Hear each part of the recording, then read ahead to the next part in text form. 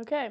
Um, this is Jocelyn Hall with the Ball State University Honors College Oral History Project. I'm here today on March 25th, 2019, in Muncie, Indiana.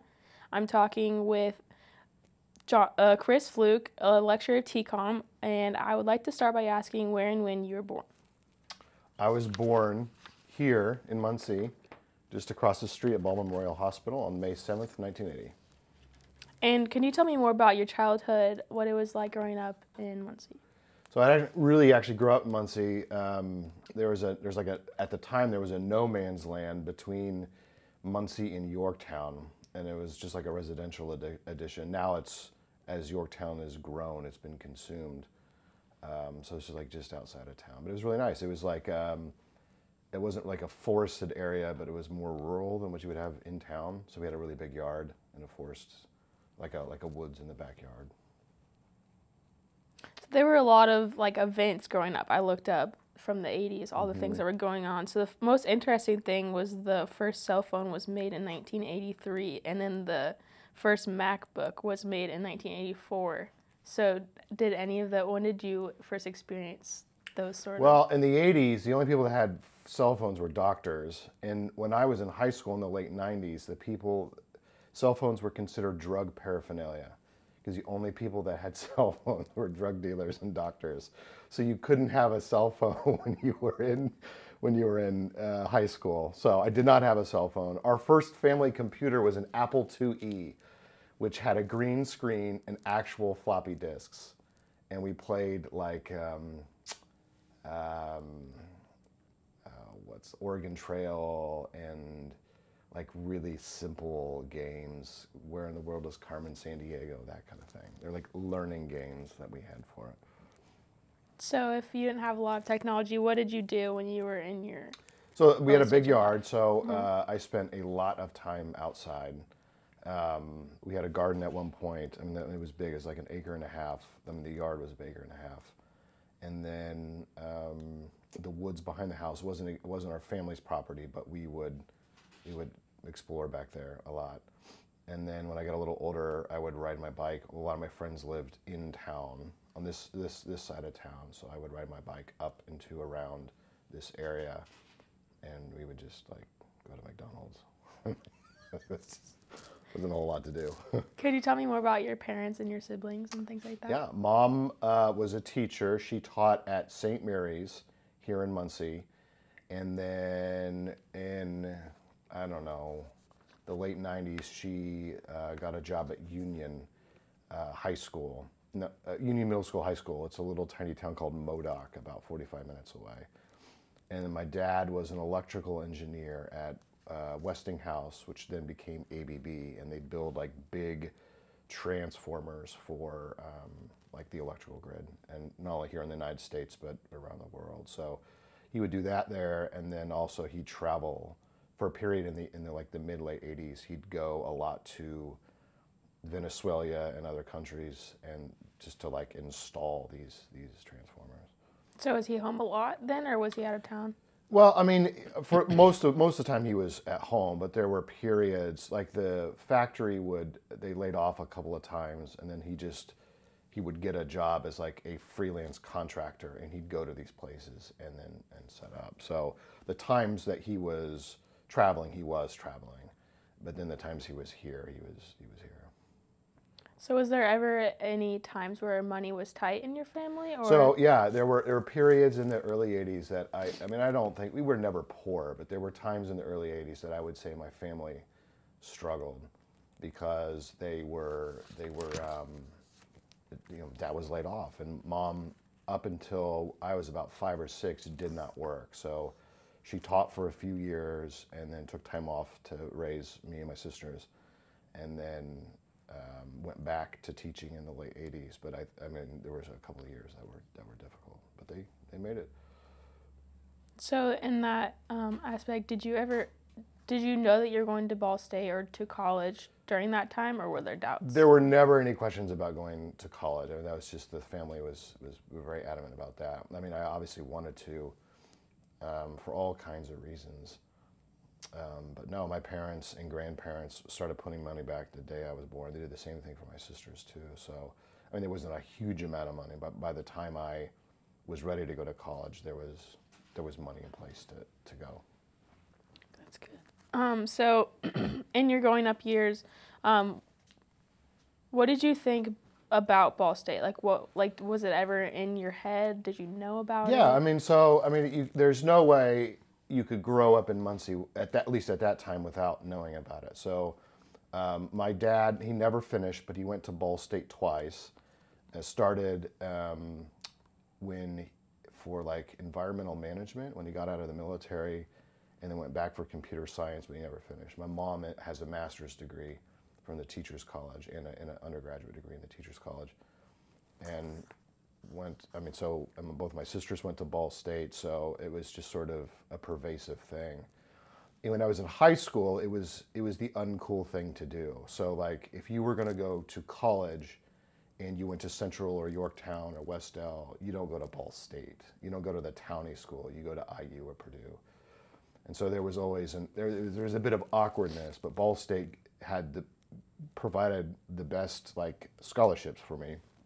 It made the most sense for what I wanted to do. It, it was then, it is now, has the strongest TCOM program compared to anybody else, really, not even just just Indiana, but but outside and it just made a lot of financial sense. I did not want to. I mean, student loans are outrageous now, but they weren't. They weren't that much better when I went in the '90s, and I did not want to graduate with you know like forty thousand dollars worth of debt if I went to some place in Southern California or whatever. Okay. Um, so then going back and talking about your experience in elementary school and middle school, what was that like for you? Like, what sticks out to you? So I went to St. Mary's, which is a private Catholic school. Again, just a couple blocks away from um, kindergarten through eighth grade. There was no high school, so then I transferred to uh, Yorktown. And a lot of people, I think, and I'm sure every Catholic school is different, but a lot of people give Catholic schools like a lot of crap. And um, I think it was, I think it probably prepared me better for education than anything else because the focus was on um, intellectual pursuits and it was it was a they had sophisticated. I think now looking back, they had sophisticated curriculum. We learned. So when I got into high school, we were reading stuff as, as a sophomore that like we read in the seventh grade. You know, and it's nothing. It was terribly complex, but like I understood a lot. My high school was far easier for me than I think some of my peers, simply because there was so much that the the, the school prepared me for. And the nuns that always get shit on for slapping you on the back of hands with rulers. The nuns there were like saints. I mean, they were like wonderful women. And they left when about halfway through when I was in fourth or fifth grade. But my experience was was great. Did that affect your religious principles now, or? Um, so yeah, I mean, I, I, don't, I don't know, I don't know that I would identify as a Roman Catholic now, but like, uh, I would absolutely. I mean, like, I think my outlook even today is is very much Roman Catholic, and I there was there's no way, you know, you raise Baptist, you sort of have that, you know, you, that perspective stays with you. I think for a, a greater part of your life, and uh, I think it a lot of my moral grounding. I think it would be a mistake for me to say that it is, does not come ultimately from from the experience in the church, but that not everything. I mean, I've I've gone completely in another in other directions on some issues that the Catholic Church teaches.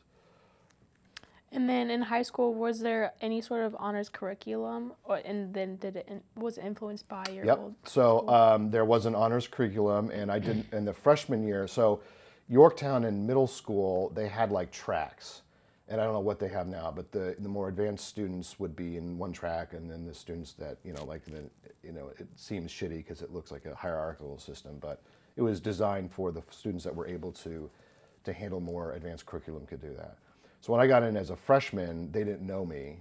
St. Mary's curriculum did not translate into to Yorktown, so they took they put me in like not remedial classes, but like the general classes, and I just got like I mean it was it was a joke. I mean my freshman I could have skipped, which probably sounds really arrogant, but like I could have skipped everything but my math classes in my freshman year in high school simply because I think St. Mary's did a, a good a good enough job and then the but they the counselors realized that so my sophomore year through my senior year i got into the the more honors classes i was even president of the national honor society our chapter in in in yorktown Do you think that reflects poorly on the quality of education at Yorktown? No, I just I, don't, I just don't think they knew. I think that you know you have someone that's coming in from outside, you don't know. Their parents are going to say they're brilliant because everyone says their child's brilliant. I mean, I wasn't brilliant. I just I think I the, the St. Mary's because the classes were so small, they were really able to better prepare the students, and I think they just didn't know.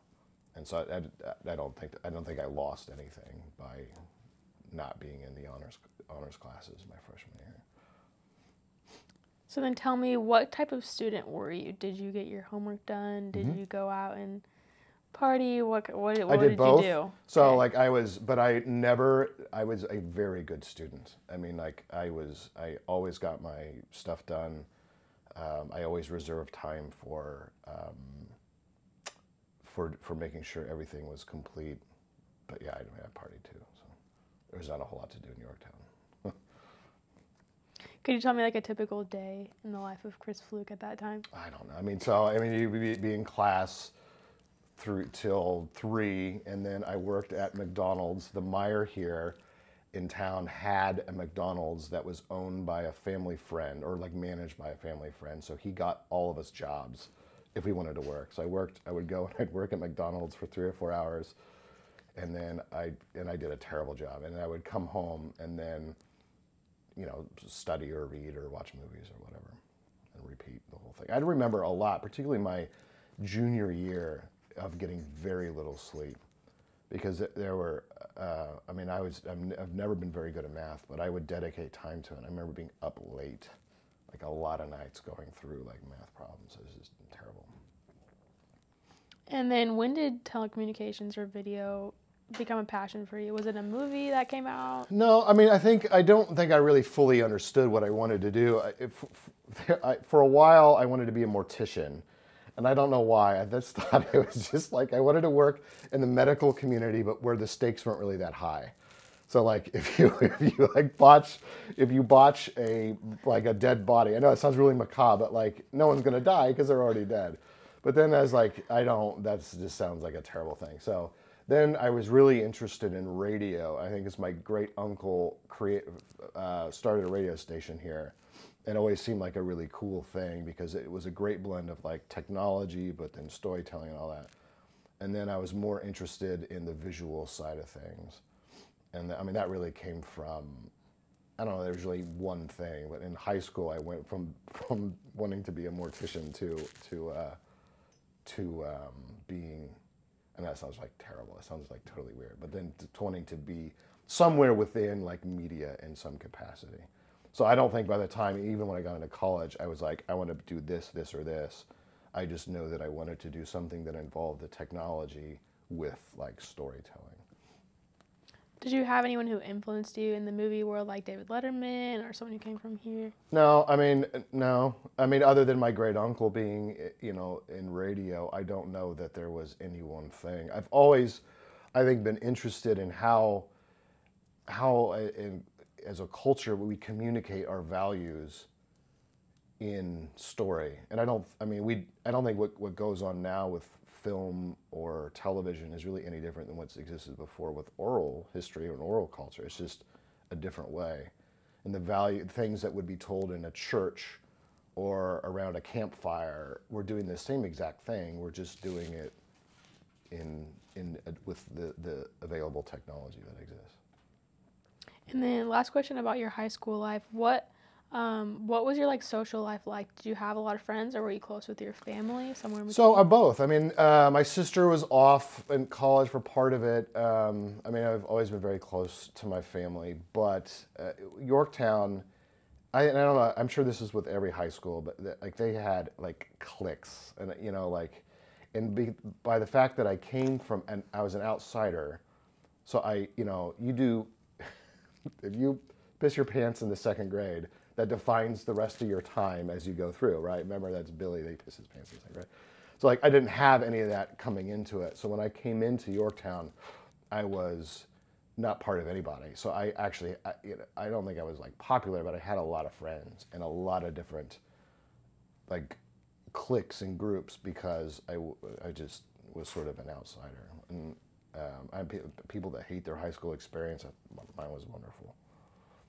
And then what kind of clubs were you involved in? Were you outside of that one that you mentioned? I mean, that was it. I mean, the Okay. honor society, and then um, I worked at McDonald's, and so like, was- other than school, that's pretty much all I did. Okay, so then as you went into Ball State, you mentioned that you had no groups or club involvement. Why did you never feel like getting involved in particular clubs? Well, I mean, I mean, what do you mean? Like we had we had a chess club, and then there were sports, and there wasn't really anything. I mean, th- there wasn't really anything else to do. I mean, I had a good social life, I had a job, and I had school. I, I mean, there wasn't. I don't know that I really had time for anything else. Okay, so your time was taken up Right. by studying, going to I think I would have defined it then as as my time was taken up by all that stuff. And where did you live when you went to Ball State as a freshman going? So freshman, I lived at home um, because I, that saved a lot of money, and then I lived in a sophomore year through my senior year. I moved to Colonial Crest, which sounds fancy, but it wasn't. It was a, an apartment complex off of sort of in between Muncie and Yorktown. So your freshman year, um, you you still worked at McDonald's. No, screw that. So no, I worked at Menards.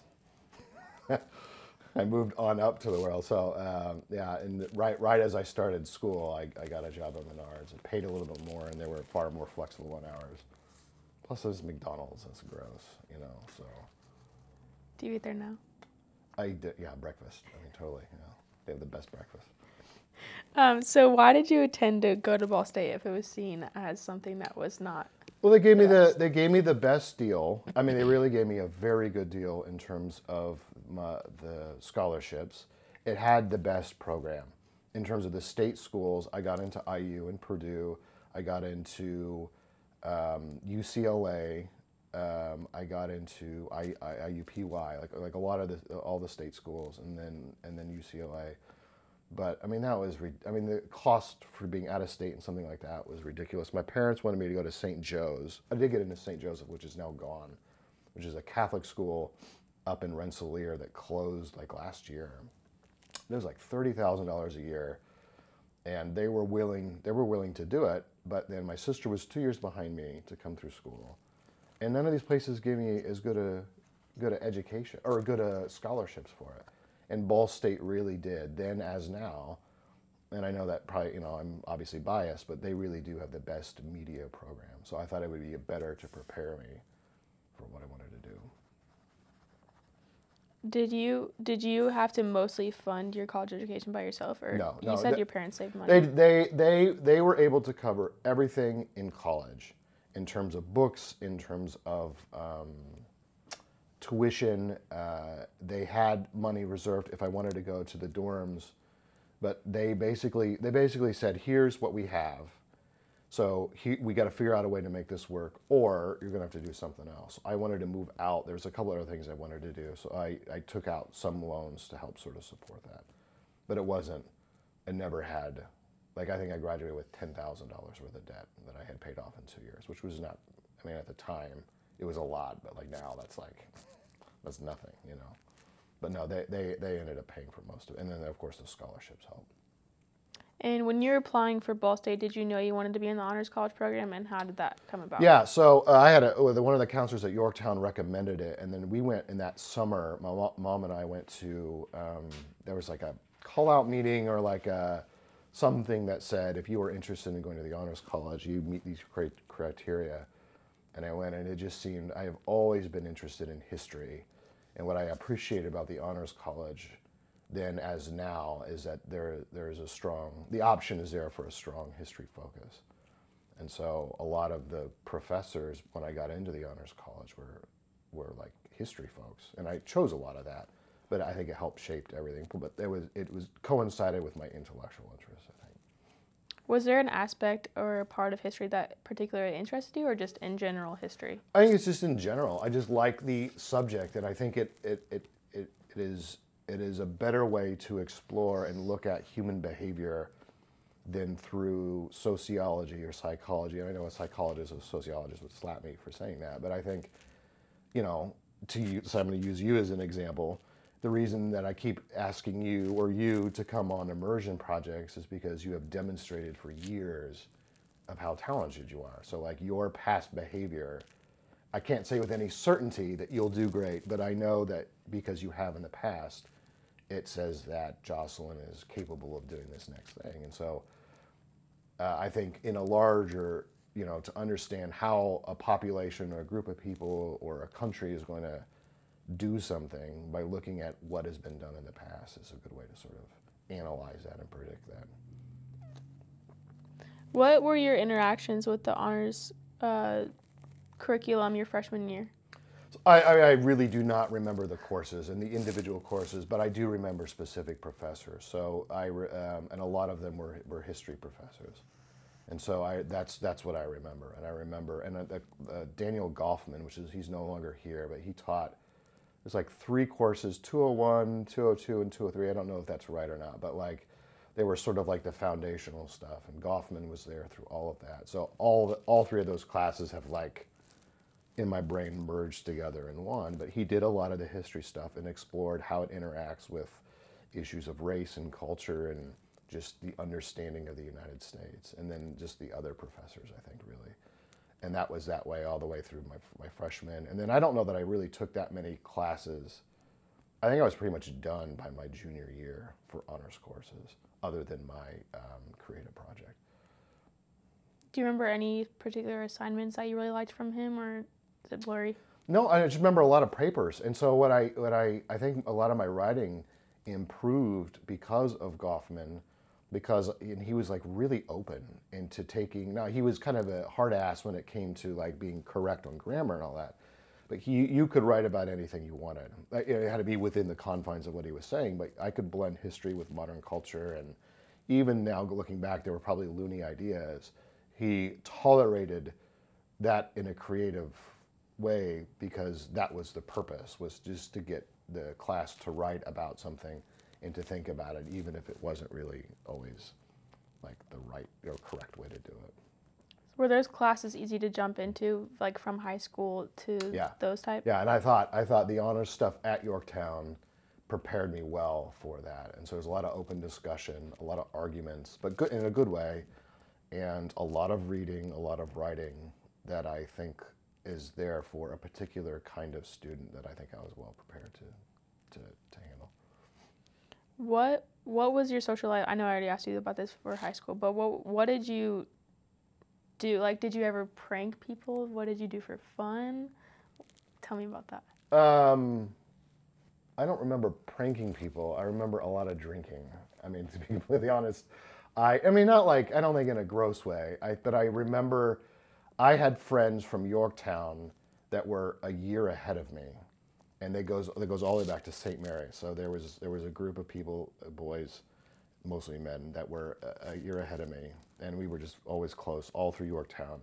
They lived on the uh, by the White Spot laundromat, and so Marv, my roommate, we would go and we would do our laundry. So we would pop it in then we would go over to their house and they were all 21 and then they would we would we would give them money and they would go out and buy us a week's supply of booze. And then i mean that was just our routine for like and then we they would either come over or um, you know we just we just hung out. We go to movies. We went to indianapolis a lot you know so i don't know that we did not while drinking but like uh, you know i think probably pretty normal college stuff what was Muncie like in that time? What was there to do? Uh, there wasn't a lot. So downtown was a shithole at that time. I mean, it's and that's what it's hard to it's hard to look at it now because you go to downtown now and it's amazing. But in the in the late '90s and the early aughts, it was it was really bad, and there's just nothing down there. The Heorot was the only thing that was down there, and then the village was there. But I've never been a,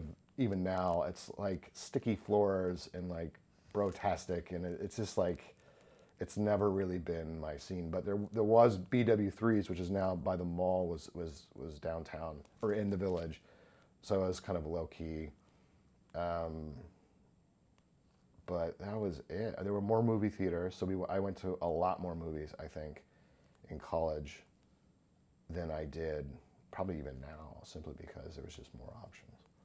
Do you remember how much the movies costed? I know the AMC now is Crazy. Yeah, it's, yeah, it's crazy. So, yeah, it was like five or six bucks. There was also a dollar theater for a while where Ruby Tuesdays is, and so like we would go and watch you know, second run movies because they were they were cheap to go to. And can you just reiterate what years you were at Ball State?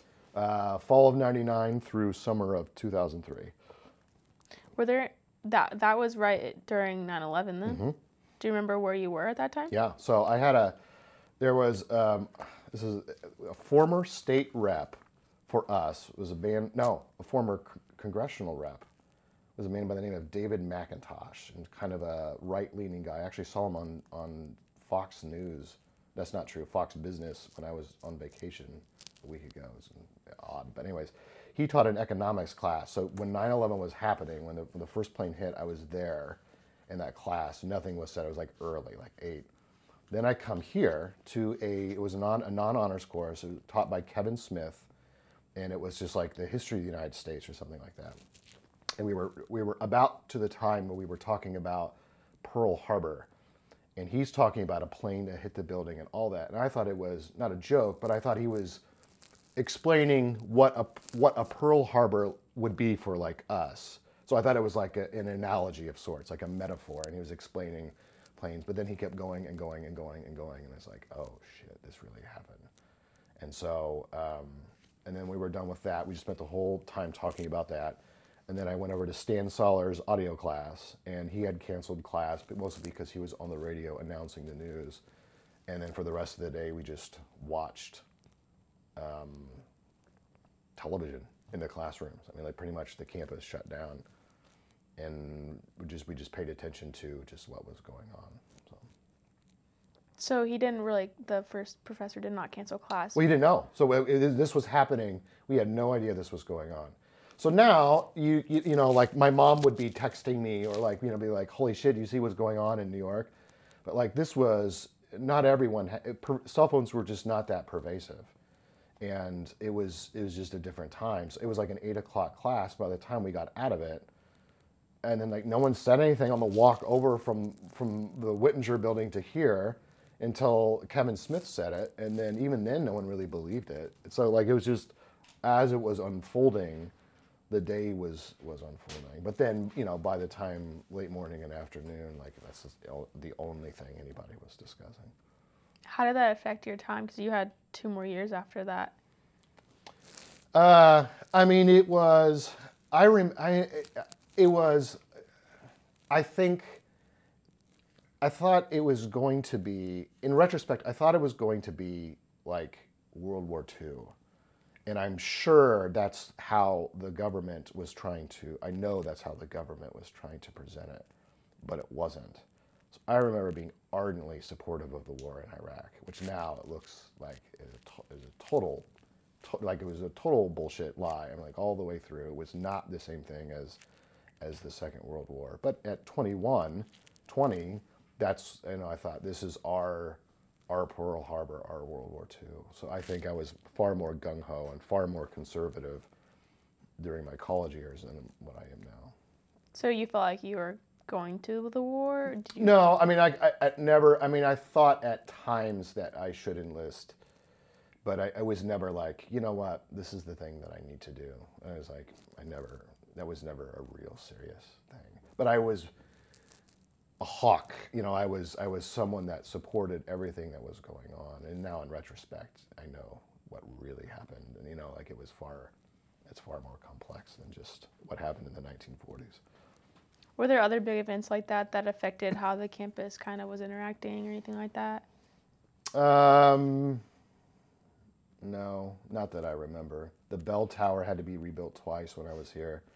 They like screwed up the bricks. I, I mean, probably. I mean, just in terms of campus, the um, the campus was kind of ugly when I first started, and by the by, particularly when I went to grad school, by that time it was beautiful, and I just that there were the the master plan that has changed the landscape of the of the of the campus has just made it an absolutely beautiful place, and that that really happened, or the major work started when I was here in, in the in the late '90s and early aughts. So then, like you said, it was ugly. What buildings did you kind of like hang out in that you say are not? So it was before the student center was revamped. It was before, obviously, this building was revamped. It was Ball Communications, which has never really changed. Um, Letterman was not there.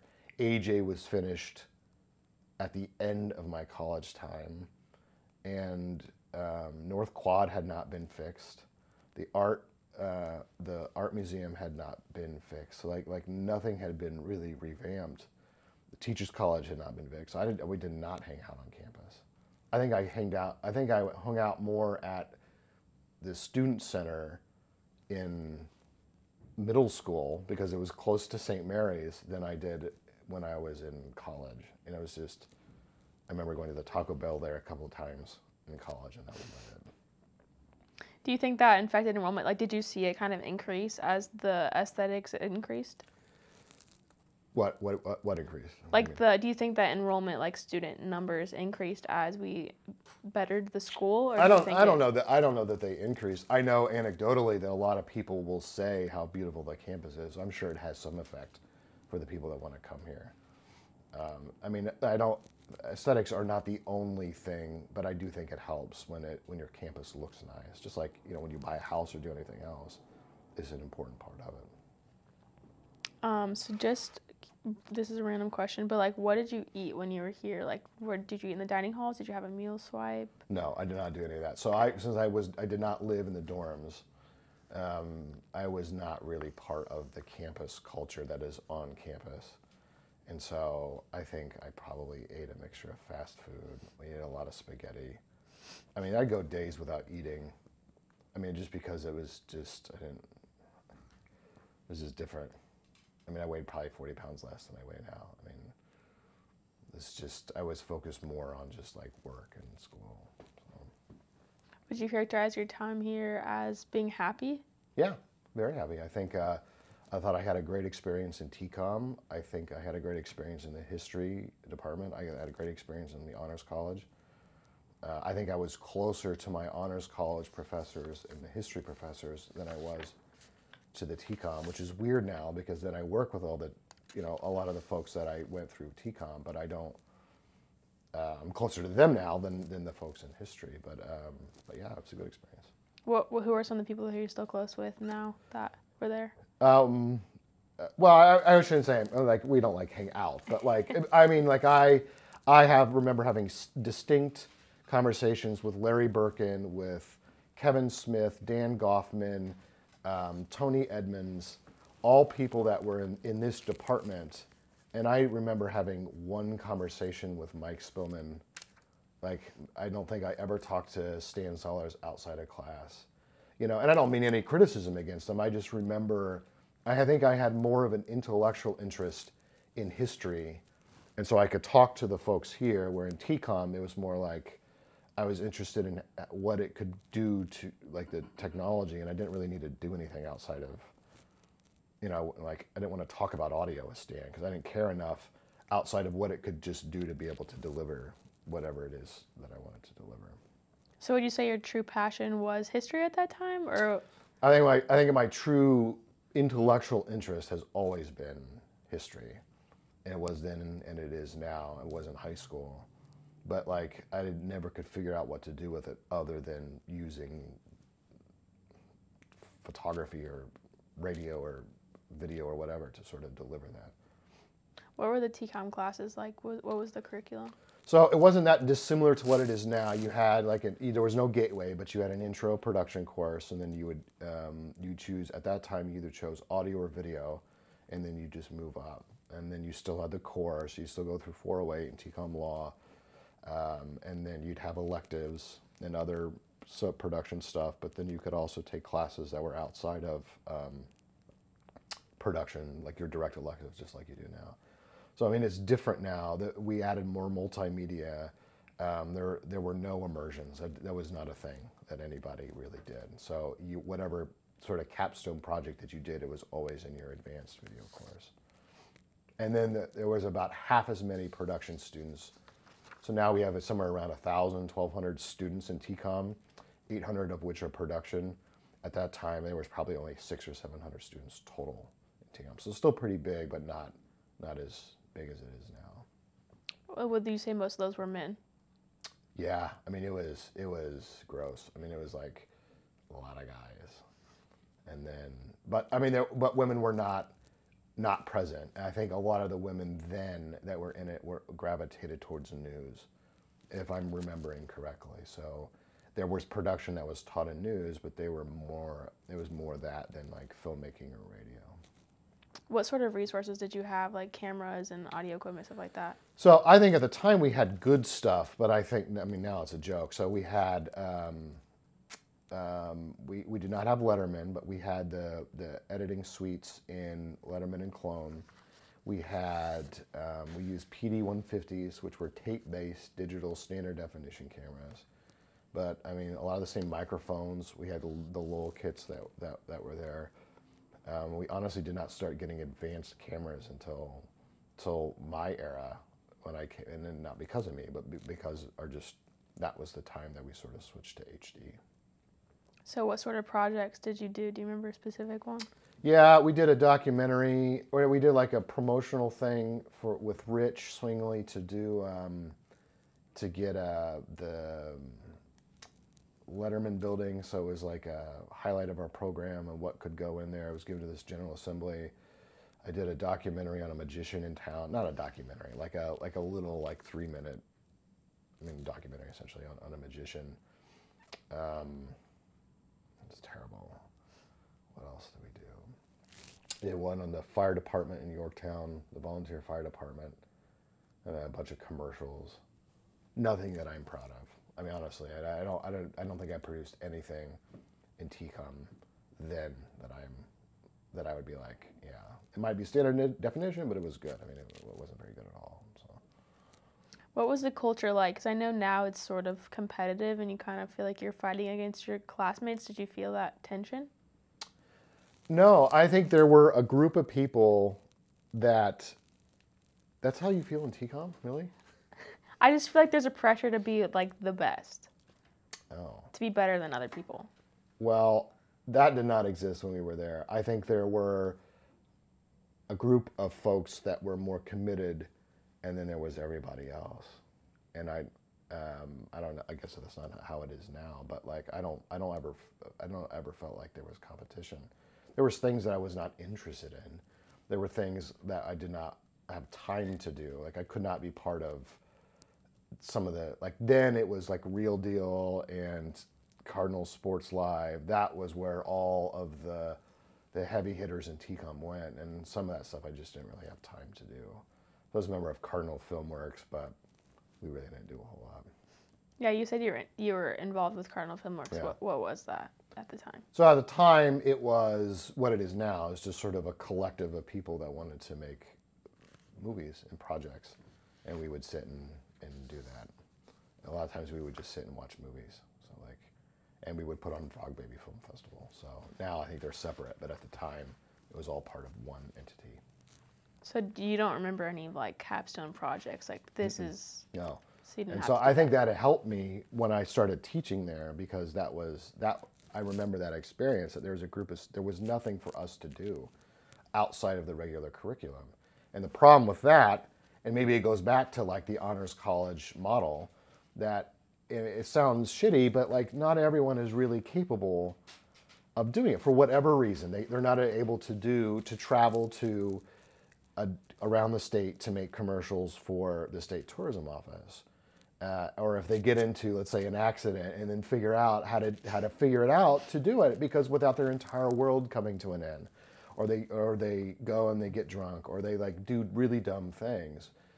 But there is a group of students that is capable of doing that. And so one of the one of the, the value of immersion is to is to take those students and give them a more appropriate opportunity for them. And that did not i don't think that really existed when i was there. It didn't really exist around the campus that i that i was aware of other than having something like the honors college. That was it was always more academic than applied though So you said that that that the video production department was like the best at the time at Ball State. yeah How how did that come into play when it wasn't that? You feel like I feel like you're saying it wasn't that serious. No, it's. I mean, but that tells you how bad Purdue and IU were. Like, I mean, and I still think Purdue, Purdue and IU have this sex of the sexiness of being Purdue and IU. They're older, they're more prestigious, they're more nationally renowned. But their media departments suck. Like I've been to them, I've seen their equipment, I've seen their curriculum. They're just not as good. It was that way then, it's that way now. They are far more, in IU's case, far more scholarly and academic, which is totally fine. And Purdue is like, we can build the camera, but we don't know what to do with it when it's turned on, and that's fine. So you're a high school student, you have three options. You, if you want to go into the scholarship side of things, you got IU for media. If you want to go build the cameras, you go to Purdue. If you want to make stuff, you go to Ball State. I mean, and then IUPUI is for like the runner-up for everybody else. like you can't get into those other schools. Not to knock IUPUI, but it's just you know like the the standards to get in. Or if you're a commuter or something like that, IUPUI is is a better fit. Um, and then uh, so it, it, was way better then. So I just I, am not knocking TCOM then. I just I don't think I think the the students outpaced the the curriculum did not grow, and at the time they did not have funding in the way that we do now. So we the, right at the end of my undergraduate and then again in my graduate time at Ball State, we got huge grants in TCOM from Eli Lilly, two $20 million grants. And that's when things changed in terms of just getting better equipment. And then when I started teaching there, me and a couple other faculty members started getting in better gear and then started doing the immersions. And that sort of just all dovetailed into to the way things are now. Did you see yourself becoming a professor at no, that time? Mm, nope. So when I, I uh, when I graduated in 2003, I took a year off from college, from college, from doing anything. Worked here at the academy, and then Ball State offered if you just as they do now, if you are an employee, you get a huge discount at grad school. So I'm like, I'll just, I'll just go to grad school and get that knocked out. And when I was done with grad school, I was dating someone at the time that moved to Chicago, and so I was like, I'll just finish up what I need to do here and then move up to Chicago. And then I got offered a one-year temporary job in TCOM in, in 2008. So I'm like, okay, well, I'll just work here for a year. And then it's been like 10 years. like, no, I did not, I don't regret it, but like, I, it was not part of any plan whatsoever. It just, it's just worked out really well. Mm-hmm. So. And did you ever do any sort of freelance while you were yeah, in your yeah, undergrad? Yeah, and in fact, starting in, in 2002, uh, I started doing freelance for a guy here locally. He had a company called Indiana Films. They did not make films. They made commercials and like profile videos. The company is now defunct, as it probably should be. But at the time, it was really great experience. I got paid. So I was working at Menards, but then I'd get, you know, a couple hundred dollars extra a month by, by shooting these videos and editing them And our clients were like the sanitary district in town and like lawyers and like stuff that people that needed promotional videos or educational videos or commercials. What equipment did you use for those? Uh, it wasn't a Sony PD 150, but it was something similar. It was another standard definition tape based thing. But it was from the school? No, no, no. He had uh, oh, his okay. own own fleet of gear for it. Okay. Um, and then tell me what you did for breaks and things like that. Did you go out of town or did you stay here? One time I went to Las Vegas, and I don't know why I thought that was cool, um, but at the time I thought it was cool. But now, like, I know Vegas is a shithole, but like, I don't know. That was my junior year, and then my senior year we went to St. Pete in Florida, and I don't think I went anywhere my freshman or sophomore year. So you had extra money to spend on things Yeah, like that. mhm. Yeah. Um, and then what about diversity? Was it mostly white, or did you have interactions with African Americans, Hispanics? In, in like the university? Like, Yeah, yeah. Um, In Muncie, outside of Ball State too. Uh, no, I, I don't think that. I mean, I remember there were four African American students in the entire time I was at Yorktown, and then months or St. Mary's was just as bad. I mean, in fact, St. Mary's probably had a better ratio, but only because there was like 30 people in your class. You know, um, Ball State was better, but the TCOM was never very diverse, just as it is now. The honors classes were probably where it was most diverse and I mean it in every way, not just in race. I mean, like there were um, gay and lesbian students that did not. I mean, now I know like tons of people in high school, but like at the time, you know, no one was out, but like people were out in in the honors honors courses, which was really great. Um, you had people that were different religious perspectives, different political perspectives, and then different race. And I don't think that was that way in TCOM. I have not, and locally, until very recently, I've not done a very good job of being in diverse communities in in Muncie. No, it's changed a lot in the past couple of years, but How do you feel about that? what do you Like, mean? does it make you like sad or like do you wish there were more? Like, Yeah, I mean, like I, I think I should have done a better job. I just don't think that I, I, you know, I don't think the choices that I have made and the choices that have been made for me. I mean, I grew up in a white neighborhood. I went to white schools. I think it has given me a limited perspective, uh, and I've tried to correct that a lot as as an adult, primarily through my work with the historical society, to sort of better understand, at least here locally, populations. I've done that in TCOM with women, and not that I needed to understand women more, but like trying to provide, using the privilege that I have as a white dude, to better make to make better opportunities or to better elevate the folks that have been more marginalized. Because I think I recognize the fact, at least I hope that I recognize the fact that I've not been, I've not been great about it. did it ever make you feel uncomfortable because you hadn't been around them? Like when you actually were around African Americans, Hispanics, things like that? No. It's good. the black community. So with the historical society, we're working to put the statue. I think I put it down in my notes for Yeah. Hurley Goodall, and I mean the black community is great. Like they just, I mean, as as as not that I was surprised by it, but like it was, it's not been weird at all. Okay, so we're kind of gonna switch uh, topics here. right.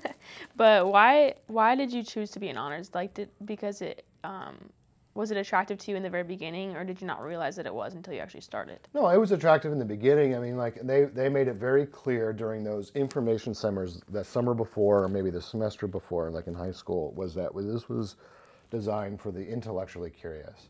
It's more rigorous, but it's more open in terms of what you want to do. There's more exploration. It's less, not that there wasn't tests and those kinds of things, but you're going to be assessed in a different way. And it, it seemed similar to the honors courses that I had in high school. And because there was an option at least to be more history focused, I thought this was perfect. And then at the time, um, I like I ended up getting a history minor because of all of the honors based history courses that I took for it. Sometimes there's like a the idea that like I'm above other students. Was that ever a draw for you to be in honors? Like Yeah. I'm a, smarter than other Yeah, students. I mean I, I- that sounds really arrogant, but Yeah. like I am smarter than some people, and like that, I think you are as well. And I think there is nothing wrong with saying, and it's not a question of that I'm intellectually superior, is the, above it. It's just that I have an interest that is intellectual, and a lot of people don't. And as you do, as you do, as like everybody in this room that has it, and so you should be with those like people if it is of, of, of pursuit. The people that are into painting should be around other artists, and they are above or outside of or special from those of us that are not artists. So I don't paint. It's not that I don't. I I disrespect it. I can appreciate it, but I don't really care. You know. So like if you're an artist, if you're a painter, you should be around those people that do that because I think that makes it the experience better. Not exclusively, but so I don't. I, above is not necessarily, I think, in terms of looking down at everybody else. It's just set apart, set apart from the from the group of people, so you can explore those things with like-minded people. Did it affect your friendships? Were you mostly friends with honors students? No, I was friends with like not on our students. I mean, like I had I had a friend group from Menards, and I worked in the paint department. So, I mean, some of those people were intelligent, some were not. Some were not even college students. My roommate in college was not a college student. Um, I had a lot of friends from high school that were in turn friends from elementary school, uh, and then friends from like TCOM. Could you tell me about like the structure of the classes? I know you did a little bit, but So a lot of it was was not that dissimilar now. You have lecture-based courses mm-hmm. that, that provided information about theory and technology, and then you'd have applied projects. In the non-production courses, it was as they are today. You'd have lectures, you'd have projects, you'd have papers. So like 408, for example, in the law class has not really changed much in terms of their structure. The one thing we did different in the law class, it was taught by five different professors. So you'd go to a lecture, and each week there'd be a different professor lecturing, and then like on a mon- on a Tuesday, and then on Thursday you'd break out into your individual course and have discussion In the law class? in the law class. So like it was before Barry. So Dom would teach, and then Mike Spillman would teach, and then a guy named Popovich would teach. On like they like so the idea was that the journalism news folks could teach about what special what they were specialized in, and then Dom could teach about what he was specialized in, and then we go into our breakout sessions, and then we would talk about more specific things. Would you say that was your most difficult class? No. Mm-mm. What was? um, it was taught here, and I think her name was Mayeki, and she it was a film class in history, and um, she was just tough. And I remember like I didn't feel like anything. Oh no, that's not true. German was was the toughest class, the foreign language. Yeah, I forgot. I took two semesters of German because I had to, mm-hmm. as everybody does. It was, it was difficult. What was that like for you having to struggle in a class? I I mean, it was. I mean, it's just like math. I just gotta struggle and get through it. And I didn't get anything below a B in any of my courses at Ball State, but I came very close in German. So And how did like did you enjoy honors class because of the discussion as opposed to a lecture? yeah, and there was plenty of lectures, but there, were, but there, were, because of the discussion, because of the focus on reading, because they were so open-ended to a degree that I could explore different things in writing and research that um, was supported by the faculty. And it wasn't, I don't, I'm sure I had them, but I don't remember a single honors test. I'm sure I had them, I mean, but I don't remember doing any of that. I just always remember the papers and the discussions and then the, the communication with the students and the faculty. And were you the type of student that was um, that actively shared your opinion, or were you more of the sit in the back? I mean, I'm an introvert, so like I don't think I was, I don't think I dominated the class, but yeah, I definitely, I mean, would would voice my point, you know, or raise a question or argue or challenge someone. Do you remember ever like getting frustrated or aggravated? I remember in one of Daniel Goffman's class, there was a kid, and by that time I had, I had stopped practicing Catholicism. I mean, like I was not a Catholic, and I remember one kid was like, like ardently just like shitting on the Catholic Church again and again and again, and nothing he was saying was necessarily wrong, but like I was like, like at him, you know, like we were we were in a. It was not mean, but it was. I remember really having a very heated discussion with him and simply because I, I don't know, I just felt like I needed to defend the church, which nothing he was saying was was was wrong, but like at the time I was just like, you know, screw you, you don't know anything about this. so you like to debate? Yeah, I mean not like in a formal way that, that they do actually in debate, but yeah, I mean like I I don't mind, I enjoy having intellectual arguments with folks for, at least at the time I did with for about whatever we were talking about. Do you feel like the honors college made you feel more comfortable and at home than other classes and like able to share your opinion? The honors college did not shoot. I mean, at least the professors that I had w- weren't quick to shoot down ideas, and even if they knew you were wrong, uh, they weren't. They weren't like. I mean, they would maybe eventually say it, but they'd let you go into whatever path, because it wasn't always about the right answer. It was about forming, like like creating, formulating the ideas and the structures to explore and research more than it was about this happened on this date at this time and there's no other possible explanation for it. Um, could you tell me about a specific class that you were at, like a colloquium or any any other topic in the honors college? Yeah, so uh, Tony Edmonds, who's now some years retired, um, ha- and I don't even remember the class, it was like on aging or something.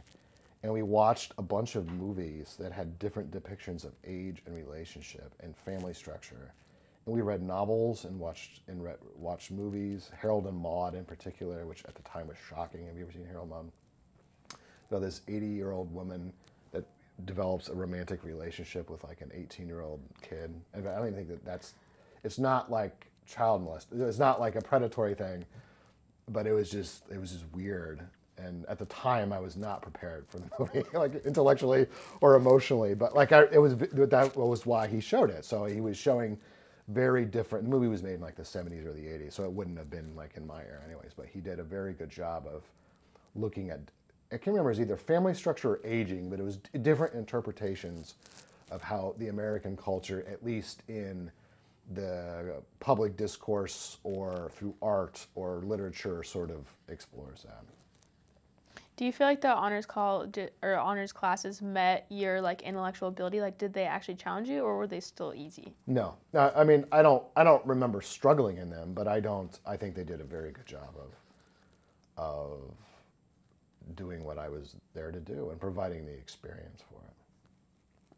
And how did your honors college? I keep saying college classes affect your regular courses? Um, they didn't. I mean, I don't. I think I probably, in retrospect, I probably should have spent more time in TCOM, like doing things, um, because I probably spent more time focusing on the honors stuff.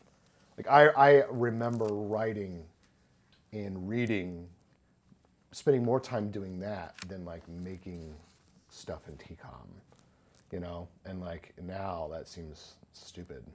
No, no, I don't think it seems stupid. I think it seems, I think it from a pragmatic point of view, I did not focus as much on. I learned more and got better professionally after college and in grad school than I did in in undergrad. Like I'm not, I don't know that anything in TCOM made me the skills that I have today as an animator and as a photographer and whatever came be, because of my practice after undergrad and and but I re- remember writing and doing the research and all that in the honors college has absolutely prepared me for all the stuff that I've written and researched after the fact. Could you tell me about your your favorite professor in the honors college? Uh, um, Jim Ruebel. He is dead. He passed away a couple years ago. He was the head of the honors college.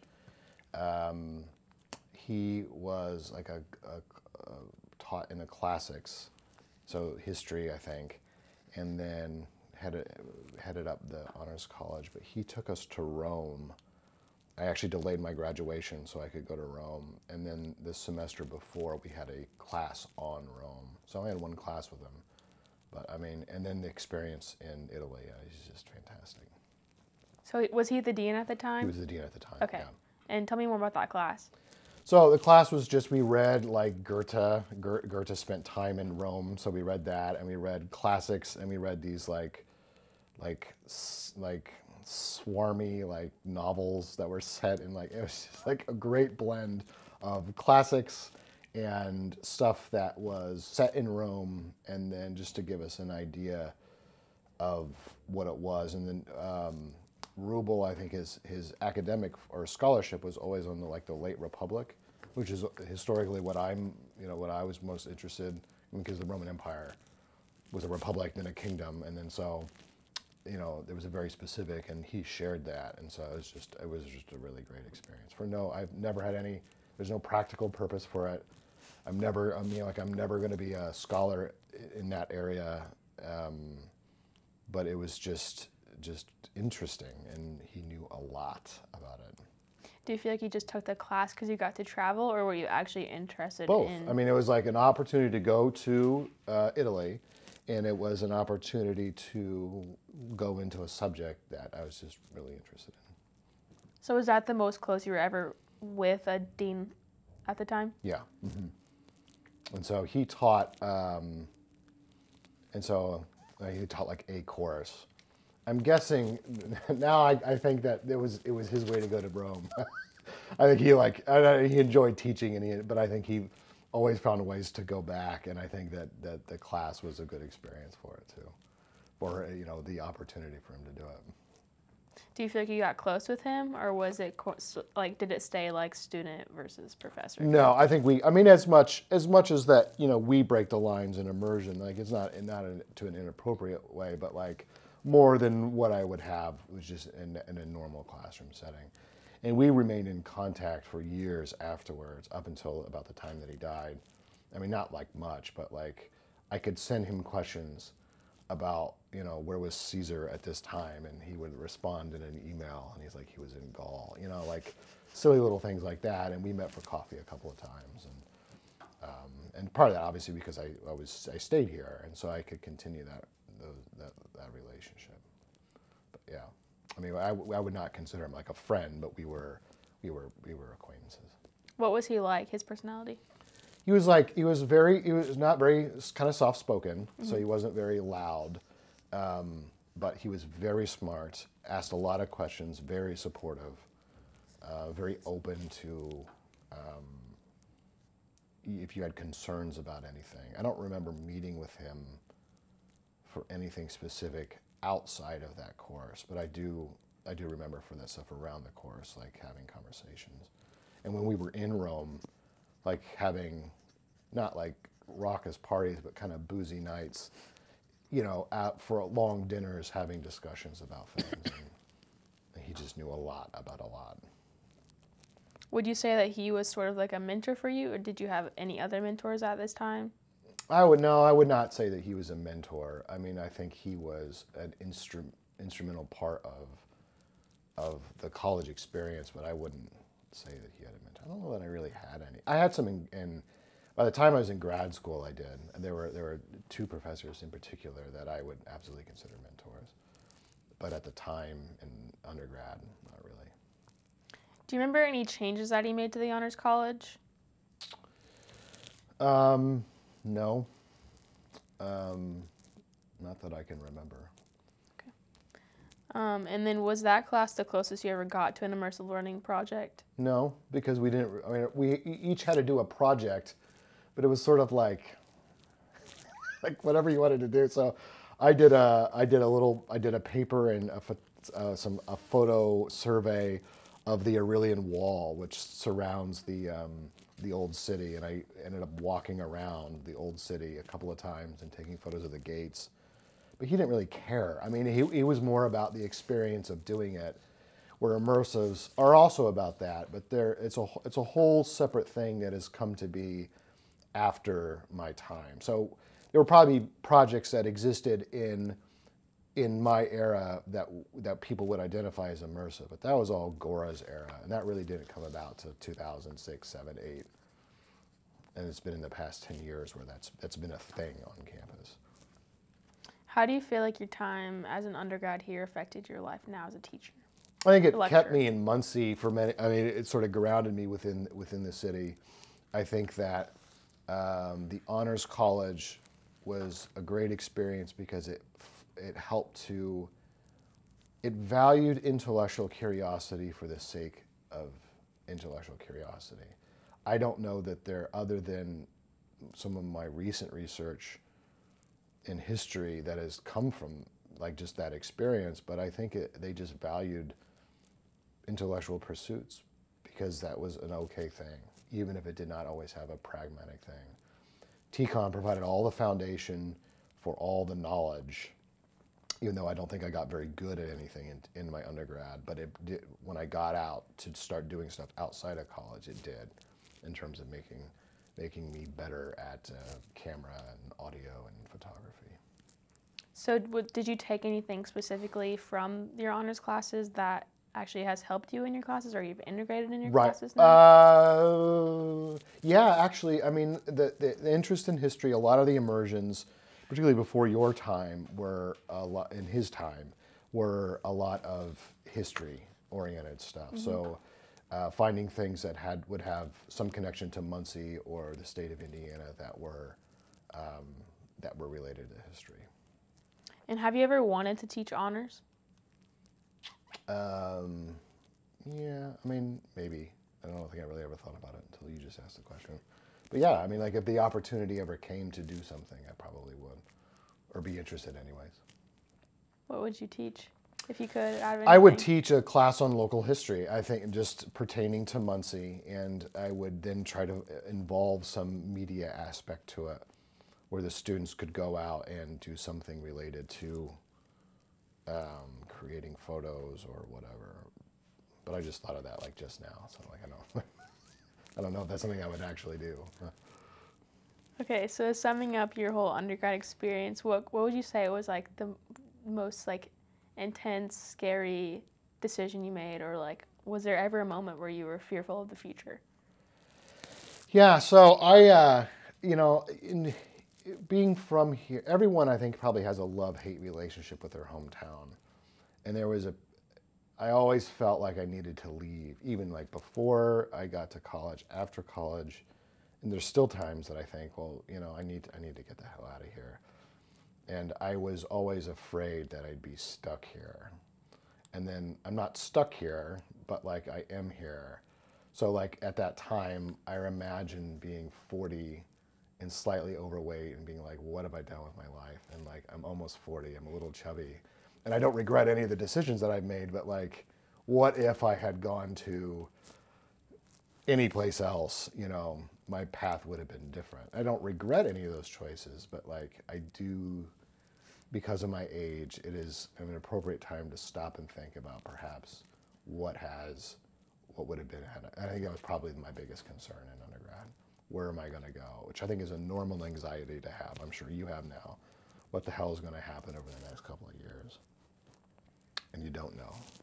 So what were you thinking? What like in your head? Where were you going? So I had considered Los Angeles uh, for a period of time, and um, uh, my dad was like, "I don't think you're gonna hate it." I'm like, "You, you don't know me." it's gonna, it's gonna be, it's gonna be the greatest experience. I love it. He's like, all right, so go out there for something. So I got involved. I got into a workshop for the. It was actually my second time in LA, but like the first time that I went out to actually explore it. And it was with the Directors Guild, and it was for like a week and a half, and it was a shit. I mean, like I hated it. I just stuck in traffic, smelled, and I was like, "There's just no way I'm to do this. I just do not have the emotional bandwidth to handle any big city, but particularly this one. And uh, so then I came back and, and it was a different, I, I, changed my perspective on things and um, looked at looked at career in a slightly different way, I think. Was that before you made the decision to do your master's? That was before I made the decision okay. to do my master's, yeah. And then, um, this is cheesy. If you could say something to your 21 year old self, what would it be? Um, to my 21 year old self, to, uh, to don't spend so much money on dumb shit. I mean, not that I was, I mean, I've always been very good with money, but I think I was very much concerned about things that just did not matter. You know, like, like having a car and like, you know, I should have just lived at home all four years. I would have killed like a social life and certainly romantic life, but like I would have saved a lot more money. I would have had a lot more resources to do more creative things when I graduated. But then I'd be a different person, so you know who knows. But like I, I, I think I had different priorities that, that I shouldn't have had when I was 21. Okay, so you went to you came back to Ball State. Mm-hmm. How did they get you to come back? So I when I graduated, um, I um, was still working at Menards, and I was just looking for any job, and a part-time job opened up at. I was still doing freelance in the area for Indiana Films, and just I had my own clients, so I was making pretty good money, and then a part-time job opened up at um, uh, the Academy, with the option of going into a, uh, a full-time job. So I took it, and then it ended up being great, and it ended up going into um, a full-time position that lasted several years, also history related, so it was just like right up my alley. And then about a year, I don't know, year into it, I realized that Ball State offered really good benefits to get a master's degree. And then our digital storytelling program was relatively new. And so like, well, this is just a good fit. And I'll just go in the evenings, get my master's degree, then I'll leave. so, um, but that, that was just really sort of because the job because the job opened up and because of the job and the, the option to take the honors or to take the grad program. What did you do at the Indiana Academy that was so interesting to you? So they uh, the academy is a high school supposedly for smart and gifted students in their junior and senior year. And then uh, it's kind of fallen by the wayside, but they had an office of outreach that provided resources to instructors, high school instructors around the state of Indiana. And they got a couple of big, like, federal grants to provide historical resources. And so I was able to write stuff, build websites, shoot video, make make um, um, not really documentaries, but like educational videos, things that could benefit those teachers um, around the state, and eventually teach a little bit. So um, teach workshops for the um, the uh, academy students, and it, it was really just sort of like wide open. It was like a very good fit. It was a really the stakes weren't that high, so like it was a really great way to sort of work in a professional setting, and to get to build my skill sets. Plus, I was still doing stuff for Indiana Films and the other freelance. So, I mean, as as unsexy as Muncie is for our industry, I actually found a lot of work because no one wanted to. You know, everyone left, and so there wasn't a whole lot of people to do this stuff.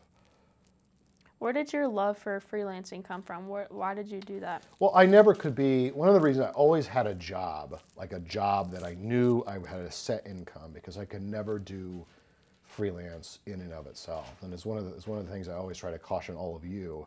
You really you have to be comfortable with an income that goes all over the place if you're only doing freelance. What I loved about it was because I had money coming in from like a job, so freelancing allowed me just extra income. But then I could pick and choose the projects. I didn't I never had to do weddings because I didn't have to. But I could do a project for like water quality with a sanitary district because that was it paid and I had the time and I had the equipment to do it. So then tell me what digital storytelling was. Like what what did you do? So it was a it was a master's degree in um, digital communication essentially, and it was like equal parts applied, uh, like advancing skill sets on documentary filmmaking or short film, and then theory, and then it was you could specialize, you could do both. You did do both, and then you would specialize in one or the other all related to the film industry or television or just like visual or oral communication. So then now did you have like a capstone project or things yeah, that well, I wrote a thesis. So you either did a creative project or you did a thesis, and I wrote a thesis. Okay. There was like tons of, by that time, immersion was there, and so we were doing more of those projects. And then um, I remember being very close to my professors, and there was two in particular that I think I ended having, still have, like they're in, they're coming to my wedding. You know, like they're, they're like those those kind of relationships that I just still very much value. Are you engaged? Mm-hmm. Okay, let's just talk about that just for a minute. Cool. Oh, you No, no, wait, we don't want to talk about. okay? Um, um, yeah. Tell me about how you met her and all those things. So her name is Courtney. She is a um, uh, sister of a colleague of mine that I've known forever. I've actually known her sister more than I know I've known her. We were just friends and colleagues, and then she had lived in Chicago and is just around. so Did you meet her through Ball State then, or yeah, how did so that? Kristen McCauliff is a comm professor, and I've known Kristen. She started a year after I came to uh, teach in TCOM, and then her just her sister came down to visit, and that's sort of how that happened. You know Kristen because she came to our honor or our women's mentorship. Hmm. Okay. It's one of the you know the 500 people that came in to talk. Mm-hmm. And do you plan on staying in Muncie with her after? I have no plans to leave. I have grown very much fond of the community. I feel that I am very empowered. I can do whatever I want, which sounds crazy, but like I am more able to do the things here that I've wanted to do all my life that I don't think I would have done anyplace else. And so I, I would never say that we would always stay here, but most of my family's here. Most of her family's here or is going to come here. We're happy. We make good money. I have a nice house. I mean, like I love my job, so like I have no, I have no plans to leave. Okay.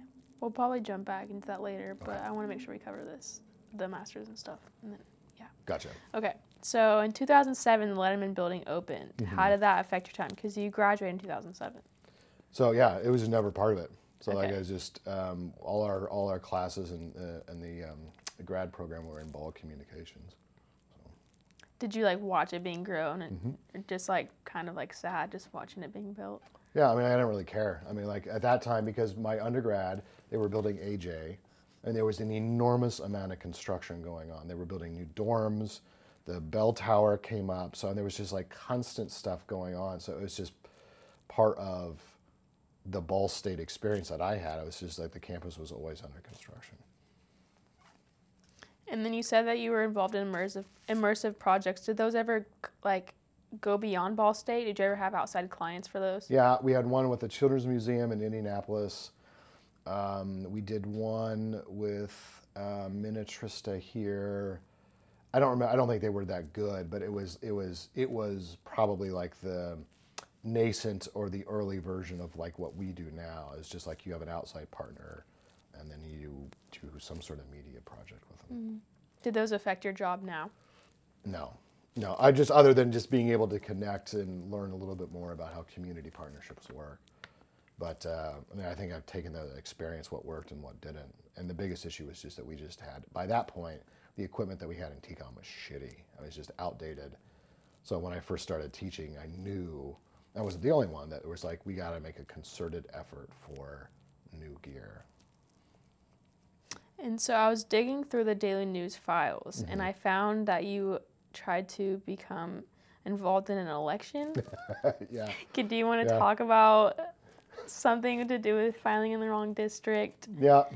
So I ran. I've, I've run for office twice, um, and both times as uh, on the Republican ticket. And uh, I'm not a Republican, but in Muncie, the Republican Party is the Progressive Party, which is not really saying anything. It's because the Democratic Party is like uh, an old school machine. And so I just I had a like I have a life's life's to do list. There's 20 things, and one of them was is to hold public office. So that was really all I was trying to do. So there was at the time I was living in the second second county district, but these assholes in the county building f- had me they had me file in a wrong district. So I had an illegal campaign. So I had to kill it. It was like it was like a two day campaign. I still have T-shirts like the vote from you know vote for Pedro from the um, um, what the hell is that movie? Napoleon Dynamite? Yes, and I just said vote for Flook. but then it was pointless because I had to drop out of the race.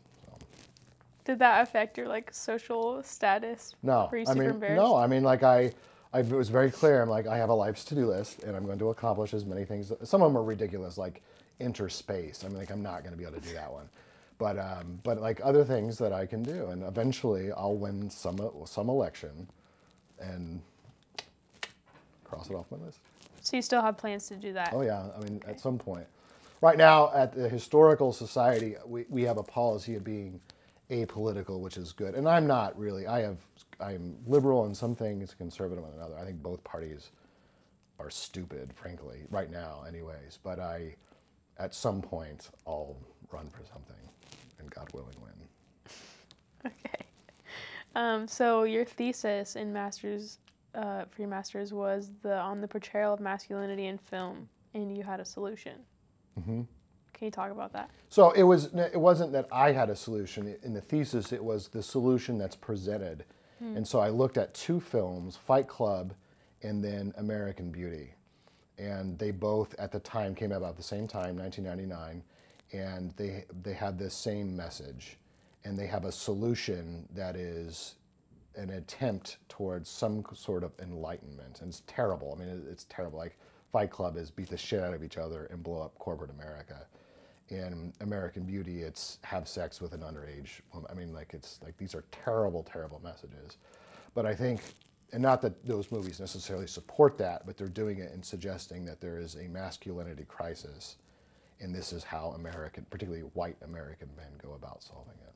And that's what it was. Was just an exploration of the sort of um, at the time middle-aged white male America, how they're being portrayed in film, and how that how the the industry or the filmmakers or whatever offer solutions. So there's been a lot of talk about masculinity lately. How do you feel like that relates to the TCOM industry, and how do you feel about all that? So like a bunch of things. So obviously like our industry has been shitty towards women. I mean shitty towards everyone that is not white and male. And a lot of what's coming out with the Me Too movement is dealing specifically with sex, but in a larger, the larger scope of things, it really is a much bigger discussion on everything that has happened and shouldn't be happening. And then, so that's one side of it, the industry side. And then it's the portrayals. It's like every hero is white and male, you know, like so the writing staff, because the writing staff is, or the depictions of women on screen are from a white 40 year old's perspective, you know, and so, or the African American perspective is from, from that. And so there is a very difficult but very honest and I think ultimately good discussion about what is that diversity. It goes beyond just for the sake of diversity it's important to have multiple perspectives because the country really is diverse. And to allow i mean one of the best movies i've seen this year was us. I just saw it like this weekend. It was excellent. And it was from a non-white perspective. And it is just it makes the it's going to revive the industry by the fact that there are more women and more african americans and I think white men should not stop doing what they're doing. I mean, oh, well, actually, they should stop doing lots of things that they're doing, but they should not feel like it's it's a it's a, a competitive thing. Like it doesn't it doesn't mean that J.J. Abrams has to stop making movies because Jordan Peele does, or because there are Kathryn Bigelow wins an Oscar. You know, like there are there is room for everybody, and it's just going to elevate everybody if if there's just more avenues in. Um, so do you feel like now how like how do you feel like that's changed now, and do you feel like there is more representation? Yeah, I think that there. I mean, I've seen this. The best stuff that I've seen is coming from people that are that have different perspectives or have different leads. And um, I watched a binge watched over the weekend. It was a Canadian show by a woman named Catherine Reitman. It was called Working Moms. It was on Netflix. It was like funny funny. And it doesn't pertain to me because I'm not a working mom. I don't have children. I will never be a working mom, you know. Um, but it was just funny. It was just well written. And it was Canada. It was set in like Toronto. And I, I you see more of that happening. So I think, A, it speaks differently to someone that would be actually a working mom. But it's just the, the, the industry really is getting more diverse. And this bullshit about sexual harassment and all this stuff that has existed for, you know, a century in Hollywood now is being checked, which is absolutely fantastic. And there are certain kinds of men that are scared, and they absolutely should be. And I think it's going to fundamentally change the way we sort of do things within film and television. Okay, so now I want to kind of jump into like how you became an instructor here. Can you walk me through that time? So yeah, so uh, I graduated in 2007, and I was still working at the academy and a job opened up. It was like for a one year thing. My best friend at the time, Betsy Pike, was already teaching in the department. And I, Dr. Joe was the chair, and they encouraged me to apply, and I did, and I got the job. And so it was really meant to be for a year, and then they just continued on. And I continued on, and I started doing immersion projects in my second year. That went really well and like I can do anything I want in TCOM. I mean, like it's a great teaching environment because they are super open to coming up with new classes. Mm-hmm. Then I started getting more involved in the community, so there was more options there. It's just things really began to click in place when I started teaching. Okay, so we're gonna back up a little bit. Right. Um, can you tell me about your digital storytelling mentors? So Dr. Joe, Joe Misiewicz, he was a chair. I mean, he was the longest serving chair in TCOM most of the 90s and then most of the aughts. Then chair when I was there. Now, he was not actually chair in when I was in digital storytelling, but he became chair again. And he's just a good dude. I mean, he's just smart and he is knowledgeable and very supportive. And I still go to him with ideas and then a man by the name of James Chesebro, who's now retired. He was the head of the digital storytelling program. He's just like super smart and knew a lot about the industry from a, from a scholarly perspective. But he was the one that encouraged me to write the thesis um, and then just sort of explore that side of things and was, was great feedback, all that. So you're still in contact with him mm-hmm. now? Yep. And how do they kind of affect your career path? Well, so they, uh, for a while, they were giving me advice. They both, uh, Chesbro encouraged me to go get a PhD. Sorry, Chesbrough encouraged me to go get a PhD, and I, it, it's just something that I never, I never wanted to get a PhD in communications. It just did not interest me. It would have been in history, but then I, it'd have to like, it'd take forever. And then I was just older and I just didn't want to do it. Um, but they were always very encouraging, particularly with writing. And then Joe, Joe understands what I'm interested in doing more. So, and Joe Misiewicz is here in the community, so like he understands Muncie better. So I can run ideas back him, and he understands the reality of the politics in this town, and then the nonprofits and all that. So did he ever influence you to become an instructor? Yeah. So he was like, "We, I encourage you to apply," and then he was the one that, I mean, instructors, contract, um, tenure track faculty. It's a committee and um, it's a different hiring process. But contract faculty are ultimately hired by the chair. So he knew me, so he ultimately made the choice to hire me. Mm-hmm.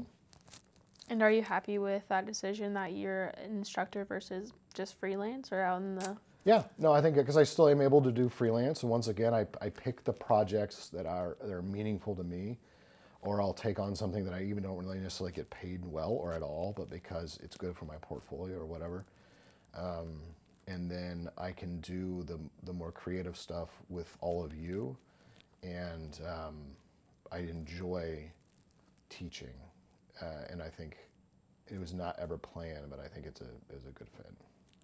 And then what was the difference between being an instructor and then now you're a lecturer of telecommunications? So the university made the, the contract faculty can be fired at the end of any year. And then there's a process called tenure, which you're hired – and if you, you make certain steps, it really is a tenure track is hired to do research as part of, of why they're here. In contract, are only hired to teach. And then after usually seven years, a tenure track professor is hired like permanently. And then they have to do something really terrible or awful to get fired. And then they can move up and rank and other things. Contract faculty are like, we can let you go at any time, which is how everybody else works. But the problem is that there's uh, some departments that really rely on their contract faculty or that we're not leaving. And so the university wisely has put in a system where there is a rank now, a rank for contract, recognizing we can still be fired easier than tenure track, but we're here to teach and we're valued as teachers over researchers. Or uh, uh, when our research is not at like, not over researchers, but like we have a different system of evaluation and promotion in the tenure track. So now, are you completely separated from the honors program, or do you have any sort of interaction with them? I mean, I I, I talked a lot when Ruebel was still alive, mm-hmm. um, and then but no, I mean, other than I have a couple of students every semester that are doing honors projects, and usually I like I'm an advisor for at least one. So. Do you feel like liberal arts is more important than teaching hard schools in your classes? You, liberal arts is more important than hard skills? Like I'm saying, like, do you feel like it's more important to teach students the the skills, like learning the camera and all that stuff, or do you feel like it's more important to stay broad? oh, I about... think it's more important to do liberal arts. Okay. Because you know, um, and this is a problem, and Ball State is not unique. Is that we've we've trashed the idea of what college was supposed to be, which was never job training.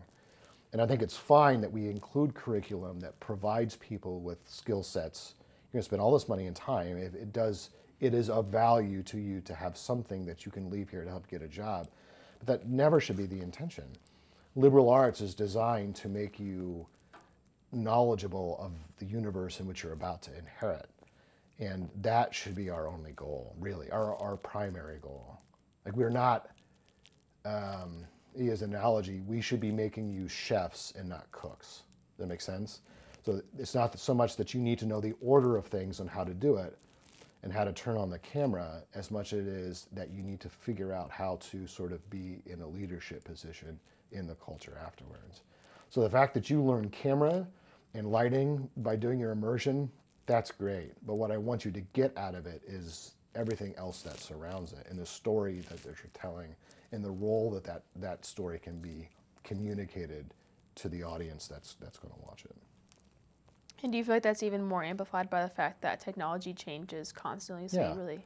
I mean, like we get in TCOM, and I'm and I'm not uh, I'm not not guilty of this. I'm because we focus so much on button pushing that that gets bogged down, and um, I think that that is a mistake that I have made and I, others from time to time that we focus really much on technology when it's it's it is more about the peripheral stuff that really should be the focus of everything. You have a note that's being passed to you. I take a sip of water. Got it. Um, so how do you feel like the changing of technology has influenced your classes, like as technology advances? So I think we've made things. It's made things a lot better. So like when I first started teaching, there were no HD cameras at all, and this was 2008, and that was that was too late for that. So I I brought in and others brought in got grants that would bring in cameras, and then we basically just asked for a million dollars for new gear, and they're like, "We'll give you 400,000," and that was enough. And so you know, cameras like this is is where a lot of that com- comes from, and then. Um, it, I mean, you cannot ignore the technology. You just can't. And so the, having things focused on that part of it is, is as important because you have to understand that the practical realities on how stuff is delivered. It's just when that becomes the only thing, then it, then it, I think it's detrimental. But it ha- I mean, it has to be a part of it. I mean, I'm a gearhead as much as I think anybody else in TCOM, so there is a focus on lenses and formats and that kind of thing. Um, why do you think that immersive learning projects are the best way to teach students? Because it engages them in the community, and uh, to quote, I then it's something that I've said in our class, to quote our former defense secretary, it creates unknown unknowns. So I don't know what the problems are going into it. And that's the purpose. You have to figure that out.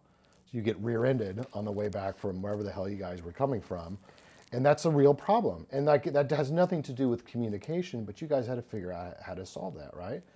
Um, or that the the client is shitty, or that they it rains, or like we're running out of time for production, or you need the cemetery to look spring and it's not, or whatever the case may be, to go in and have to figure that out. That's how life is going to be, and that's that's what's the value of the immersive projects is we don't know what the problems are but we got to figure out a way to tackle them and solve them. Okay, so there's like a thousand production students, right? There's a thousand TCOM, about 800 production students. Okay, so how do you feel like it's fair when only about 50 or plus students can participate in immersive learning projects? It's not fair, and like, like tough shit. I mean, like that's just that's how it is, and it's not. We never we never exclude anyone that is capable, but not everyone is capable. So there are if it, is, it does bother me that you think that there are, not that you're wrong, I'm not saying that you're wrong, but it does bother me if, if there is an expectation that there is like, like, you know, like you have to like overperform or you're in competition. Because I see it as there's lots of people that are not capable of doing these things. That I cannot, I trust Selena to take out a couple hundred thousand dollars worth of equipment because she's proven herself and she knows what she's doing. And I don't think that that exists for every student that's, that's there. There are students now that I wouldn't, I would be, I would not let them take out the cheap, you know, like like crappy stuff that we have because they're just not capable of doing it for whatever reason. Maybe they're just not mature enough. Maybe they don't have the skill set. Maybe they're not willing to put the time into doing it. Where I could trust you to drive up and your peers to drive up to northern Indiana and shoot something with a hundred thousand dollar gear, come back and not make an ass of yourself, not embarrass yourself, and do fine. That's it's not exactly fair, but I don't think everyone is really at the same level. And so immersive is one type of learning. We provide other opportunities for those that are that are not really able to do it. So then how does that affect your teaching style? Like what what is your goal for students post graduation? I want you all my my dream was for you all to stay in Indiana and to restart a film industry here or restart to create one because there doesn't one the one that does not exist and change the perspective of how our community our, our country sees itself. That would be my dream goal is for you all to do that but that's not a realistic goal. So like you're not you're gonna you'd suffer for a decade doing shitty work that you didn't want to do. So the the more realistic goal is for you to go out into whatever world that you want to go into whatever place in the country that you want you want to go into and you just thrive in it. And not just, and you think about career not so much in terms of commercial success, but what problems am I able to solve with the ability that I have. So going back to like us with Jordan Peele or Get Out or any of the movies, he's trying to address race in this country that has not been addressed before. Movies is just a film is just one way to do it. So if that is if that is a perspective in the way that you that you can explore those ideas or better tackle them or call attention to them, then go do that in whatever place that you can that you can do it. So I know that you've done a lot of projects in Muncie. Why, why stay here? Why is it important to make projects that are about Muncie? Well, it's not there's why stay here. I mean, I grew, I've grown over the years to really love the community. It, it's, it's, I, if I go out and do something in Muncie, I can see the results, and it helps. And Muncie needs me. If I go to New York City, I couldn't do the things that I'm doing now, and my impact would be negligible. You know, like I would never be able to do the things that have the same impact that I that I can do here, and it's um, I think it gets a lot of times it gets crapped upon, but you know like being a big fish in a small pond. But there is some truth to that. If you have certain things that you want to accomplish in life, you need to be in the environment that's that's going to allow you to do that. And it needs you need to figure that out as opposed to someone telling you this is the environment that you got to go into because they don't know. No one knows. So is that what truly makes you happy? Is making projects here in Muncie? Is yeah, well, not necessarily projects, but like doing things that have some sort of meaning or value. And I mm-hmm. like, mm-hmm. I like being able to do things that that that have a positive effect on the community. If I lived in Anderson, I'd be doing this stuff in Anderson. I don't think there's anything unique about Muncie other than the fact that it's just my my town, you know, where I'm at. So can you tell me more about? I know you are releasing a book today. Mm-hmm. Can you tell That's me more right. about all of your? That's right, Jocelyn. I am. all of your different projects that you're working on right now. Yeah. So uh, I wrote a book a couple years ago called. Uh, it was about the Native Americans here, and that stemmed from an immersive project that I worked on with some students about the Delaware tribe of Indians, uh, that, the Lenape that were in the area. And I just I loved writing. So then I wrote another one, or co-wrote another one about Beech Grove Cemetery and then this one, I have a column in the Star Press every two weeks. And a couple years ago, I was trying to find a Halloweenish topic, ghost towns of Delaware County. And then I ended up finding like a hundred different like settlements, some of which are not ghost towns, some of which are. And so then the, the narrative, the, the, all my notes ended up becoming just a book. I, by the time I collected all this stuff, I had 30,000 words. And the publisher that I work with is, is not a, it's like a public history kind of thing, and that's right at the length that they want. Tons of photos, and then um, I just basically wrote it together as a. So I know you also, with your Lost Towns of Delaware County book kind of thing, you're also trying to photograph all villages and towns in Indiana. So I checked out the Facebook page, and it has like a pretty big following. Mm-hmm. What do you do with that? what you see is what it is. So I, uh, I got a, the website has been neglected, so I got to fix that. But the whole idea is to photograph all of the villages and hamlets, I mean, within reason. So I go to each, go throughout summer and I just go and I photographed a central commercial district or an iconic building. It's just a giant photo survey and then post it on Facebook. And then people do the, I remember when, you know, Bob's Butcher was here and like that kind of thing. It's doing it's nothing other than just to celebrate rural and small town Indiana. And then the up, uh, website will eventually be updated, and then all the photos will be donated to the public domain through Wiki Commons or something. And then so they, they'll be available to anyone that wants to use them. With all of your projects, what which one which one's most interesting? What what are you excited about? The thing that I value the most it was an immersive project that I did with students a couple years, uh, some years ago now, um, about the Lenape that were in the area, and then the book, and then anything else that I really write about the Native Americans, simply because I think it is the most misunderstood, uh, maligned, and um, unknown aspect of this particular community. They, and it's not, Muncie's not unique, it's, it exists in, all across the United States. We just ignore the indigenous experience. And they're not gone, they're just not here. So the groups that were here, I mean, the Miami are still here up in, in northern part of the state, but like, so we think that this, you know, like Indiana history starts with the white dudes coming down from Michigan or up from Kentucky And there's several thousand years of human history right here that, that is just not really discussed or is not really thought about. And I, and I see that's where the biggest impact of what I have done outside of like just TCOM and media that has come from the stuff with the Native Americans. So when you introduce yourself to someone, how do you how do you put it all into one title? I say I'm ruggedly handsome, and now I don't know. I mean, like it changes, and so now I say, you know, I, I teach at Ball State, and then they automatic everyone in the community thinks I teach in the history department because you know, that's and they don't they don't really understand, and I don't I don't know how to explain it other than I just like this is how it's media is how you do something or how you present something but that doesn't mean that your intellectual limits are stop at movies, you know, like in the way that some people like cooking or whatever else. And so the history in, in the historical society, the work there matches my own intellectual interest. And I thought for a while that the historical society was a shit show. It was just very, it was in bad shape. And so him and others, we all got together and basically took it over and have, have turned it around. How have you seen Muncie and Ball State change over your lifespan?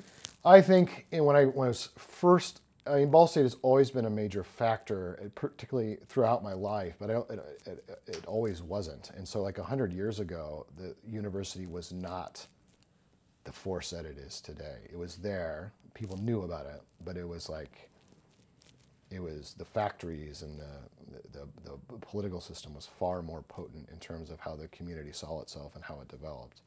Now it's the hospital and the university that really, I don't say control everything, but really push and drive a lot of stuff within the community. And I have seen that really grow from, from the 80s on, where, where because that time is when all the factories really started to leave, the 70s, the 80s, the 90s.